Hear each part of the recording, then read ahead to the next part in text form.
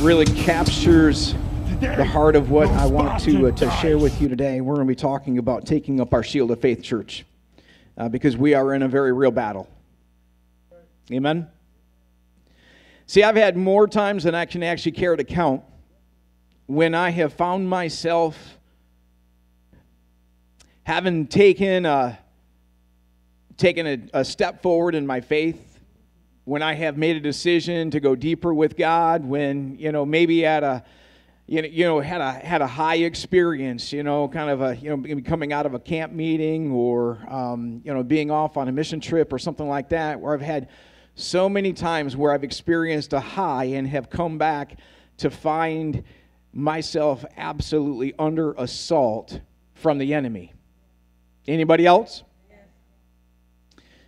You know, see, friends, if, if you've made a decision to live by faith, what we've been talking about over the course of this series, if you've made a decision to live out this everyday faith and to really to, to live a life that honors God and to walk in a personal relationship with Jesus, please hear me very carefully, then you have marked yourself. You have a target on your back. Trust me when I say this if you have made a decision to go deeper in your walk with God or to, to move forward at all in your relationship with Jesus, the enemy has your fortress under attack. See, the enemy is sure to bring the battle to your doorstep, isn't he? Say no more than Jesus is Lord, and it will enrage the enemies of God. Say no more than for me and my house, we will serve the Lord and your tent will be under attack. See, friends, anymore, when I see things happening around me, either in my life or in the lives of my family members and my, my wife, my children, or even in the lives of the congregation that I am very privileged and blessed to be able to pastor, I try very, very hard to pay close attention to the nature of what is really happening behind the assault. See, before you too quickly write off the difficult things in your life that you're experiencing as mere events in life, because that's what we have a tendency of doing, of just, man, you know, kind of licking our wounds and just kind of seeing it as just as just life that's happening to me and happening around me. Listen, friends, it can be a valuable thing to check in with God and to ask for a special lens or special lenses of discernment to see what's happening in the spiritual realm all around you. See, Jesus said to Simon Peter, He said to Simon, Simon, Simon, Satan has asked to sift you like wheat, but I've prayed for you. Simon, so that your faith may not fail, and when you have turned back, strengthen your brothers. One of, one of America's greatest Christian leaders throughout the 20th century, C. Peter Wagner, he says this. He said, Certain people, such as shamans, witch doctors, practitioners of Eastern religions, New Age gurus, or professors of the occult on university faculties are examples of the kind of people who may have a better, a, a much more extensive knowledge of the spirit world than most Christians have. See, an important part of living out our everyday faith and living victoriously is to understand the nature of the battle that we are facing. I mean, we want to be victorious, don't we? We want to live out this everyday faith that we've started on. And, and friends, I, I want this for us, for our congregation. We, we spur you on, we encourage you. And it's pretty awesome at times to see people just kind of putting their anchors down, right? And making a declaration or being inspired and encouraged in a moment of faith when they've come and then they leave. And I see the enemy just assault their life. And sometimes some of us being very oblivious to the fact of what is actually even happening to me or to us. St. Teresa said this. She said, Whenever my enemy provokes me to battle, I try to behave like a soldier. See, my desire in bringing this to your awareness isn't, isn't at all to make you afraid or actually to make you even look behind every bush, bush, to see a demon or something like that but it is really to bring an awareness to us. Uh, it's to it's to remind you listen church that if you are in christ the victory is yours. For the lord your god is the one who goes with you to fight for you against the enemies to give you victory. Amen church? Shouts of joy and victory resound in the tents of the righteous. Listen, shouts of joy and victory resound in the tents of the righteous. For the Lord takes delight in his people. He crowns the humble with victory, church. Listen, friends, we fight from a position of victory, not defeat. But so many times what happens is as we walk through life almost as though we're defeated already. But God has brought us to a point to where we need to understand we fight from victory, we don't fight from defeat. If God has made us victors, then it's a matter of staying victorious and learning to have wisdom in the battle. We need to ask God for discernment regarding the battle, friends. And we, trust me, and I say this again, you are under assault. You are in a battle. And we have to pay attention to it and understand this. We need to ask God, God, give me discernment for what is happening around me, for what's happening in me, for what's happening to my family, what's happening around me, to my, to my friends. 1 John 4 1 says, Dear friends, do not believe every spirit, but listen, but test the spirits to see whether they are from God. We need to be people who have discernment, friends. Listen, friends, the attacks are real. The enemy attacks those who take steps to walk a new life with Christ. And the enemy is inflicting severe casualties on many in the church today. He's leading people astray, causing many to embrace lifestyles of sin, and some even to leave the faith altogether. Paul describes what's happening all around us in Ephesians chapter 4 verse 17. Listen to what he says. He says this, "So I tell you this, and I insist on it in the Lord that you must no longer live as the Gentiles do, in the futility of their thinking. They are darkened in their understanding and separated from the life of God because of the ignorance that is in them due to the hardening of their hearts."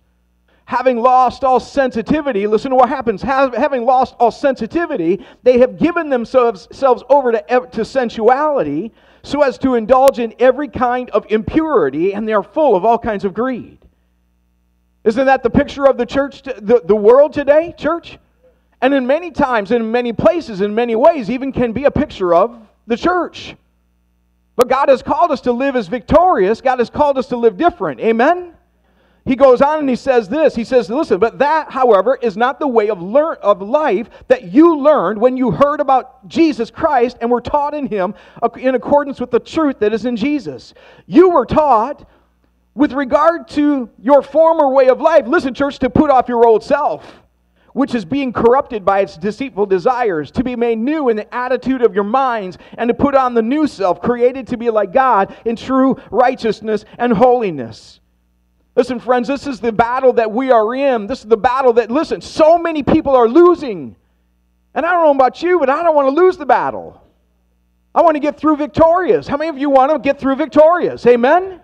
I mean, it's a very real spiritual battle that we are in. And Paul here, he describes this and he gives this, this picture of two different people. You know, the person, this first person is separated from, from God, darkened in their understanding, separated from the life that is in God. Listen, separated from that victorious life that we said. We fight from victory. Amen? See, but there's, he says, the, the, those who, who, he says, you should not live like the Gentiles do, or those people who are not walking in relationship with Christ. He says they, they've, been, they've been influenced and they have futility of thinking. And not only that, they have ignorance due to the hardening, listen, the hardening of their hearts. And they've lost all sensitivity and due to the fact that they've had futility, futile, futility in their thinking, they've hardened their hearts, they've lost sensitivity, what has happened? They've given over to every type of sensuality. Listen, this is the progressive, the, the, the, what happens when a person is not aware of the battle that they're in. And what God is doing is He's coaxing us to live out this everyday faith. And we can preach week in and week out. Listen, live a life of everyday faith. And we can all raise our hands and say, Yeah, I want to live a life of everyday faith. But here's the deal if you don't learn, and if you and I don't learn how to actually fight the battle, we will lose and we become this. But God has given us the victory. And listen, these things are written so that we make a choice in our lives which person I'm going to be. And so we've been invited to understand how do we actually do this? How do we live a life that is on this side, the new life, the new life of God, who, who we have a new way of understanding, that, that we live this new life that, that is not captured in all of this, you know, this nonsense. How do we do this? Paul tells us just a, a couple of chapters later in Ephesians chapter 6, he talks about the armor of God. Listen to what he says. He says, Finally, be strong in the Lord and in his mighty power. Put on the full armor of God so that you can take your stand against the devil's schemes. For our struggle is not against flesh and blood, but against the rulers, against the authorities, against the powers of this dark world, and against the spiritual forces of evil in the heavenly realms. Therefore, put on the full armor of God, so that when the day of evil comes, you may be able to stand your ground, and after, after having done everything, to stand. Stand firm, then, he says, with the belt of truth buckled around your waist, with the breastplate of righteousness in place, and with your feet fitted with the readiness that comes from the gospel of peace. And in, in addition to all of this, take up the shield of faith, with which you can extinguish all the flaming arrows of the evil one. Take the helmet of salvation and the sword of the Spirit, which is the Word of God, and pray in the Spirit on all occasions with all kinds of prayers and requests. And with this in mind, be alert and always keep on praying for all the Lord's people. Pray also for me, he says, that whenever I speak, words may be given me so that I may fearlessly make known the mystery of the gospel, for I am an ambassador in chains. Pray that I may declare it fearlessly as I should. Listen, friends, this is what I sh- want to share with you today. I believe that God is, is calling us to be people who live from a point of victory, that we don't live as people who have been defeated. And the way that we do that is we understand God wants to help us win the everyday faith battle. But if we're going to win the battle, we have to first and foremost, we have to decide to defend ourselves against spiritual attack. Listen, you cannot just sit by idly and expect to win this battle, church. We have to make a decision that you're going to defend yourself against spiritual attack. Because again, I say, when I see things all around us, listen, it's not just life that's happening to us, it's the enemy attacking us. See, God wants to do incredible, amazing things in our lives and through us. But how many times do we get knocked off the path? Do we get sidetracked? Why? Because the enemy comes in and tries to destroy what God is doing inside of you. We've got to decide that we're going to defend ourselves. That's why the scripture says, Take up the shield of faith with which you can extinguish all of the flaming arrows of the evil one. You can't any longer stand by and be passive in your spiritual battle. The armor is needed, friends. The belt of truth is needed around your waist. You stand in truth. The breastplate of righteousness you put on. You put you have your feet fitted with the gospel of peace. You have the shield of faith up, the helmet of salvation on, the sword of the spirit, which is the word of God, and you pray in the spirit and you ask discernment. You defend yourself. 1 Peter 5 8 and 9, Peter says, Be alert be alert and sober minded. Your enemy, the devil, prowls around like a roaring lion looking for someone to devour. Listen, resist him, standing firm in the faith. Because you know that the family of believers, listen, you're not alone in this, are you? The family of believers throughout the world is undergoing the same kinds of trials. Listen, this is the same thing. I'm going through it. You're going through it. The person sitting next to you is going through it. Listen, if you are sucking air today and you're a believer in Jesus, you're going through it. You're not by yourself. This isn't just my battle. It's not just Lynn's battle or Hunter's battle. It's listen, it's all of our battles. We have to be alert. We have to be sober minded. We have to remember, listen, what it is that is happening around us and even in us. Just because you're a believer doesn't make you immune to it, it actually makes you a target. Everyday faith involves spiritual warfare. God wants to help us win the battle. Listen, but again, if we're going to win the battle, we have to, number two, we have to identify the fiery arrows. See, sometimes I think we read Scripture and we just kind of look at it as this rhetorical thing, but in reality, we need to sometimes really step back and really consider what it is that the Scripture says. Take up the shield of faith, he says, with which you can extinguish all the flaming arrows of the evil one. I want you to really kind of think about this reality of warfare. Think about the spiritual warfare that happens around us. And one of the things that we need to do as believers is we've got to begin to learn how to identify the arrows, the fiery arrows that are coming your way. See, it's not enough to know that you're in a battle and to decide to defend yourself. You have to know your enemy's weapons. We have to be able to identify what will be thrown at you. If you walk with God, what's coming your way? See, Paul describes what the enemy uses, what the enemy throws at us as flaming arrows. And listen, flaming arrows are used for two purposes, aren't they? First of all, the first purpose is to penetrate their victim. He fires off flaming arrows at us. What? Why? To penetrate us, to penetrate, to, to, to do us in, to, to shoot us through, and to penetrate our mind, to penetrate our heart, to get to us, to penetrate our emotions, to penetrate our, our, our very lives. Listen, so flaming arrows are used to penetrate. Secondly, understand this flaming arrows are also used to set ablaze anything surrounding the target. That's why they're on fire is to set ablaze anything around the target, church. Listen, you might be the primary target, but the enemy will attempt to set fire to everything around you to defeat, to destroy, or to discourage you. See, what are some of the flaming arrows the enemy uses? The enemy uses lies. The enemy will, will, will shoot arrows of lies at you. In fact, Jesus said, you know, the, he's speaking to the, to the Pharisees. He says, your, your father is, is, is Satan. He's a, and he's a liar, and he's been a liar from the very beginning.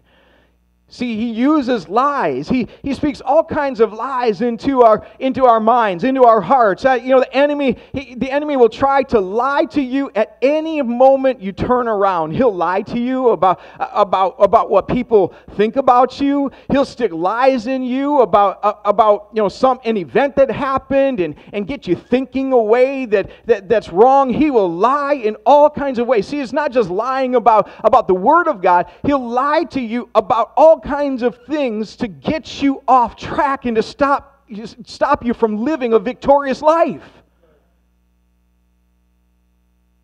There's all kinds of lies. He'll lie to you and tell you, you can't do it. You can't do this. I can't get through this. I can't get through it. It's too big. I've got too much pressure. I got too much stuff going on. He'll lie to people. I've seen it happen where he lies to someone. I, I can't pursue God anywhere. I've got, I'm way too busy. You're not too busy. That's a lie from the enemy.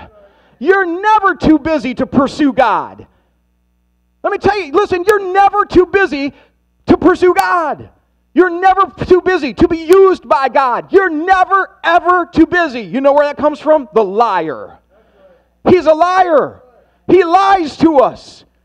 Why? So that he can defeat us, he can discourage us, he can, he can you know, distract us from being the person that God's created us, us to be. He lies to us about, about our identity, about our, our worth to God. And so we start walking around and we hold our head down. Well, you know what? I'm just, I'm a loser. I'm always going to be a loser. This is just the way that life is going to be. I never, I, I don't amount to, to much. I, I'm not going to be what God wants me to be. God must really not love me very much. And so, God, He's really not for me. He must be against me. Those are all lies.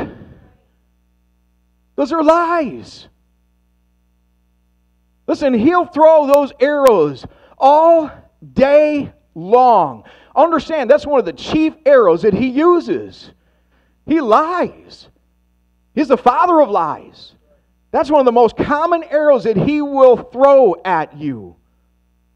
I mean, yeah, we might have times when we are down, when we're, you know, when, when we don't have much strength because we are busy, but guess what? Those who wait on the Lord will, will renew their strength.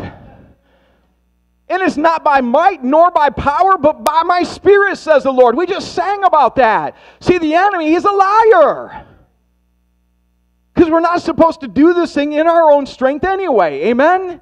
We're supposed to do it in his strength and in his power. So we've got to be very, very aware. He is a liar. He is a thief. Another thing that he does is he, he's a condemner. He, he condemns us and, and he speaks things into our lives that causes us to, to, to feel condemnation. But Revelation chapter 12, verse 10, listen to what this says. Revelation 12, 10 reminds us then I heard a loud voice Now come the salvation and the power and the kingdom of your God and the authority of his Messiah. For the accuser of our brothers and sister who accuses them before our God day and night has been hurled down. Listen, he is an accuser. He accuses us. In fact, sometimes the way that he accuses us is he, is he, he accuses us that, you know, I, I just, I, I can't really give to, you know, be used by God because it's, it's not going to be enough. Therefore, I'll just stand back and not, you know, really give myself. It's not enough. Listen, God wants to use whatever it is that we can give to Him. Whatever level of, of, of ability we have. Because it's not our ability, it's about the heart. It's about our availability. And so, how many times do we, as people, we make ourselves unavailable to God unavailable to God because we feel we're not able enough. We're not equipped. Well, I'm not as equipped as, as, as Pastor Greg. I'm not as equipped as, as Vic. And so some we kind of some stand in the shadows. Always satisfied to stand in the shadows because I'm just I'm I'm not as able as somebody else. Listen, that's that's the accuser. Hear me. That's the accuser. Not only is he a liar, he accuses us of not being enough.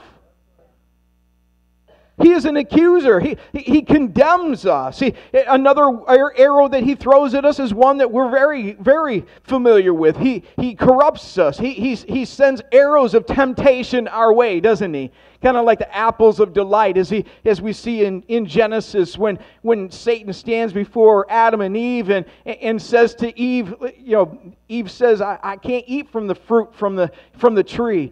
And, and Satan says, Well, you know, did God really say that you can't eat, you know, from any tree? She says, Whoa, wait a minute. No. He says, You know, I, we can't eat from this tree. And then he turns it around and says, Well, no, it, actually, if you eat this, this is really going to be good. This is really going to be good. It, it, God tell, told you this because if you eat of it, you will not die, but you will become as God. And so, one of the arrows that he throws, listen, is temptation and, and, and corruption, perverts the truth, perverts what God's words. He sows confusion. I mean, one of the one of the flaming arrows that the enemy, you know, throws at us is confusion. But God does not give us a spirit of confusion, right? But a, but a sound mind. So times, I mean, you think about that. Be aware of this. There are times when even I'll be watching, I'll be watching, you know, TV and and and and there's so many messages right now that are coming across, and I just I gotta sit back for a moment, especially because in a culture today that they're saying that that that good is evil and evil is good. Oh my word, it can become extremely confusing, can't it? Listen, if you think that you're above the possibility of being taking an arrow from the enemy when it comes to confusion, do not overlook the power of confusion that the enemy sows. I mean, there right now, there's a congregation recently, I just read about this, a congregation that, that, that left um, the Assembly of God denomination over the, they said, well, you know what, we, we, we're going to start affirming the LGBTQ um, lifestyle. We don't believe that, any, that, that the scripture actually teaches against it. you know why that happened? You know why that happened? It's not because the Word of God isn't very explicit. The Word of God's very explicit. Listen, that's a sin. It's sinful and we are supposed to, listen, lose, leave any type of sinful lifestyle. Amen? Come on. But we live in a culture today that is confusing people. and is moving people away from a lifestyle that God wants them to have. Is bringing confusion to the point that literally spiritual leaders are leading their people down a road of destruction and embracing confusion, church.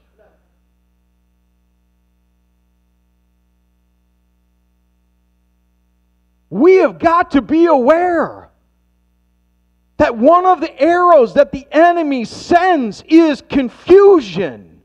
Confusion, especially over the issues of what is right and what is wrong, what is godly and what is evil and wicked.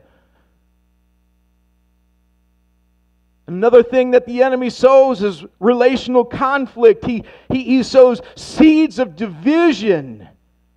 He'll bring in and he'll worm his way in and try to divide a husband and a wife. And we see that today? Where he'll try to divide husbands and wives. He'll try to divide parents and their children. He'll try to divide people who are try, who who they're, they're on the same team but then they end up fighting against each other that's one of the ways that the enemy works as well it's also it's helpful to know not only what types of arrows it is that he uses, but the direction the arrows fly. So there are times when the enemy he throws, he, he flings his arrows at our physical being, doesn't he? There are times, friends, when we, when we take an assault from the enemy, uh, he, he assaults our physical being, literally. There are times when he assaults even our bodies with sickness, with fatigue, with pain. Do not think that that always is just something that's a natural thing. There are times when the enemy literally afflicts, afflicts our physical beings. There are also times that the, the direction of the arrows is at our emotions where he will assault our emotions and he will he will bring all kinds of, of weird have you ever had this, a, a, moment where it just seems like a dark cloud has come over top of you? You ever been there before? Dark cloud just like rolls in and you're like listen it doesn't add up at all. Life is okay. You know everything's fine. You know and, and what happens is is this dark cloud rolls in and we're like what in the world where'd that come from? Well let me tell you where that comes from many times. It comes from your enemy who's attacking your emotions. There are many times when sadness or depression, or listen, have you ever had moments when you're just, you're going along and you're just mad at the entire world? You're angry. You're angry. You're angry at your spouse. You're angry at your at your friends. You're angry at your neighbor. You're angry at your neighbor's dog. You're angry at the preacher. I mean, you're angry at everybody and everything. Have you ever wondered about that? Let me tell you why. It's because the enemy assaults our emotions at times and even uses a spirit of anger. If he can keep you angry, he can steal your joy.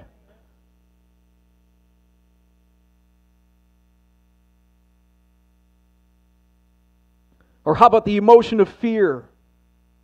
Fear all of a sudden you're walking along, you're doing life. Jesus is good. He's Savior. He's on the throne. But all of a sudden, we are gripped with a spirit of fear. We're afraid. We're afraid of, of our shadow. We're afraid of people. We're afraid all of a sudden of bad things happening. We're afraid of, of death. We're afraid of failure. We're afraid to take steps of faith. We're afraid of everything around us. You ever wonder where that comes from? Listen, it comes from the enemy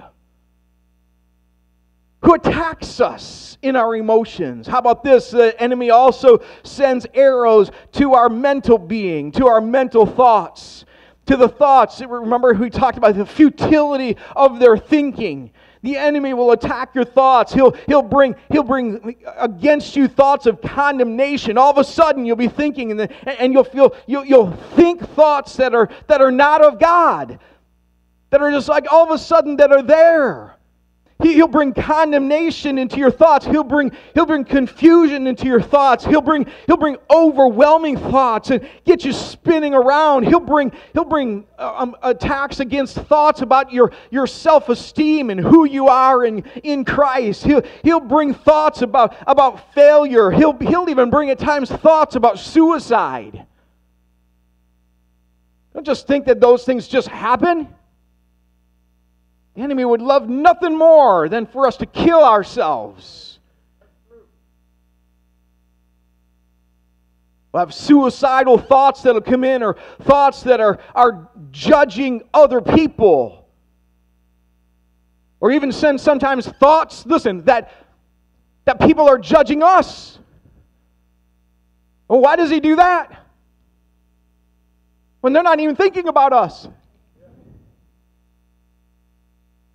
He does that so we will live separate from people. A house divided cannot stand. So he'll send all kinds of crazy thoughts into our minds and our hearts. He'll send thoughts that people are looking down on you when they actually are. Or another way that the arrows fly is, is right directly into our, into our spiritual being.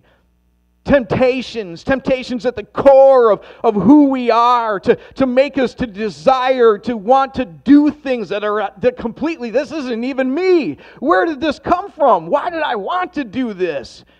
You ever had that? If you were to be honest, you would. We've all had that. Driving the wait a minute, that's the old Wayne. Where'd that come from? I can tell you where it came from. The enemy who's assaulting my soul, assaulting my spiritual being, or how about a relational being? The, the enemy will literally hurl flaming arrows at our relationships around us and, and will attack, you know, will cause arguments, will cause offense to be felt or offense to be taken by, by people. He'll, he'll, he'll cause misunderstandings. To, all of a sudden, he'll bring agitation in a home and agitation in relationships. He'll work in there to try to divide people. He'll even at times put people, he'll plant people just to be a division inside of a, a, a group of relationships.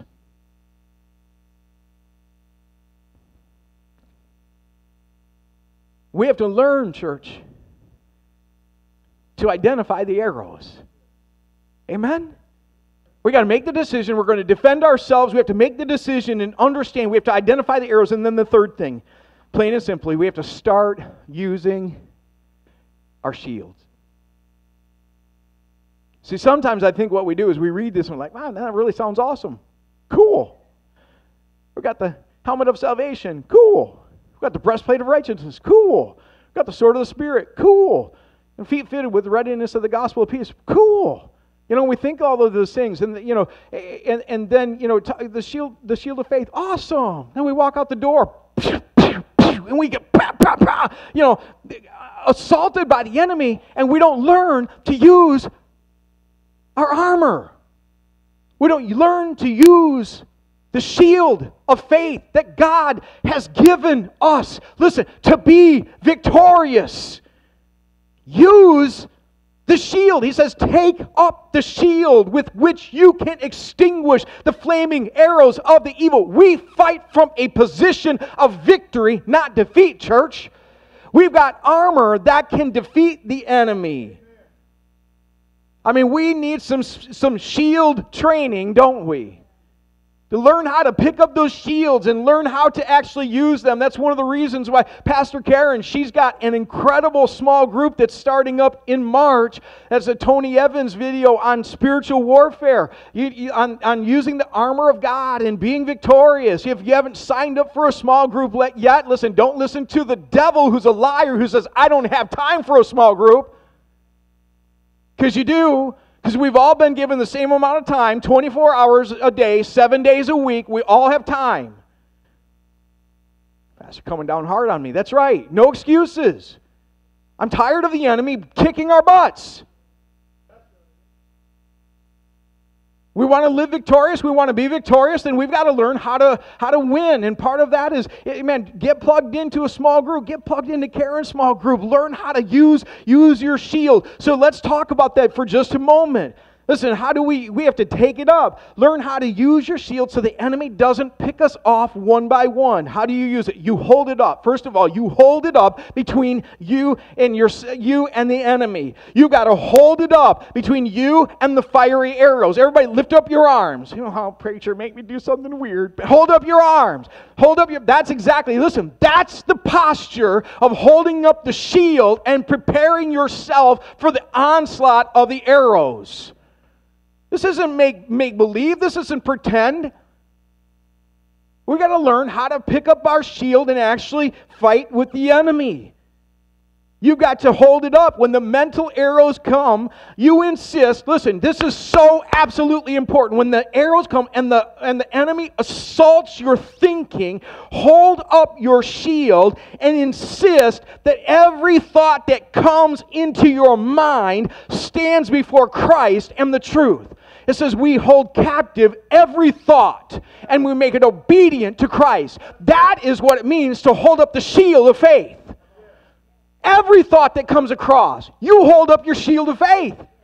You say, does this jive with what God says? Does this, and you make it obedient. You hold that every thought. You say, no, wait a minute. I'm holding this thought captive and I'm making it obedient to Christ.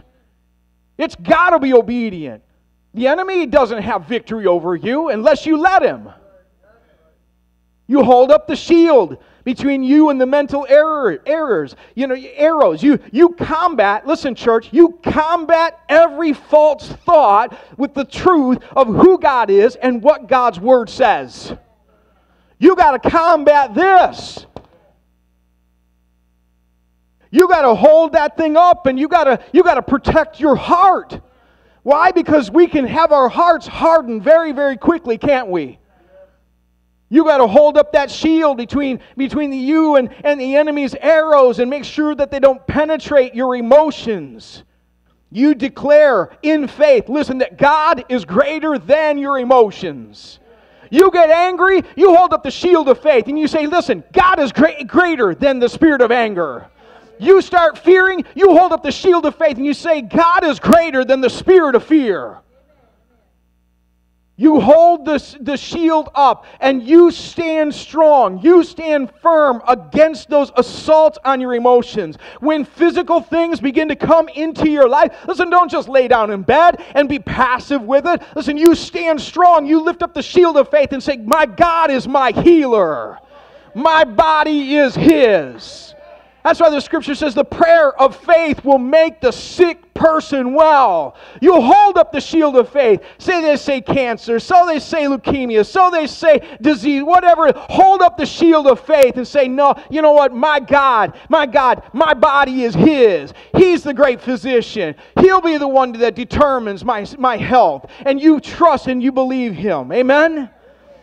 When the enemy assaults your relationships, he assaults your home, which he will. I've experienced it in my own family at times. You have children growing up and you wonder, what in the world? Where did this come from? Oh my goodness. Raising teenagers can be fun, can't it?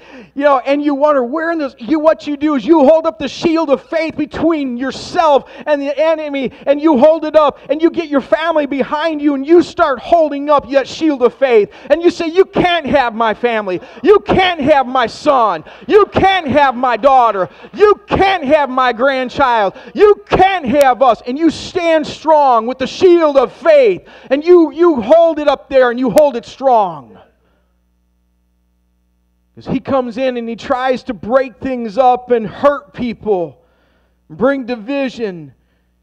And when the enemy comes in and he starts attacking and throwing the arrows against your spirit being and tempting you to be less than what it is that God created you to be. Listen, because He's breastplate of righteousness. You know what that means? Not just a positional righteousness of Jesus has made me perfect in Him because He's forgiven all my past sins. He's forgiven my sins. That's true, but He's also given us practical holiness. That means, in other words, when sin comes, when temptation comes our way, we hold up the shield of faith and say, you know, I don't have to give in to that.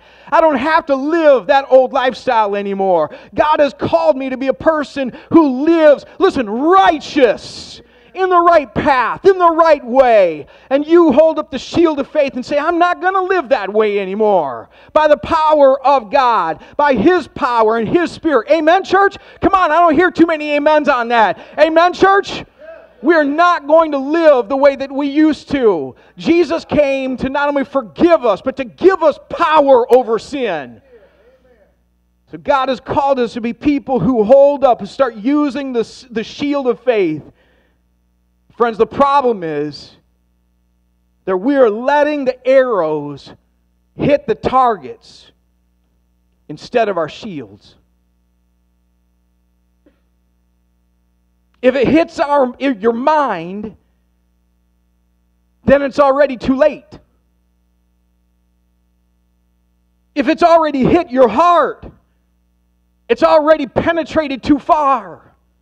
And I'm not saying to the point that it's irreparable, but I'm just saying further than what it is that God intended and God wants. And why allow yourself to inflict, have an injury afflicted to your thinking or to your heart? See, if it penetrates your spirit, it's already gone too deep. We have got to start getting the shield between us and the arrows.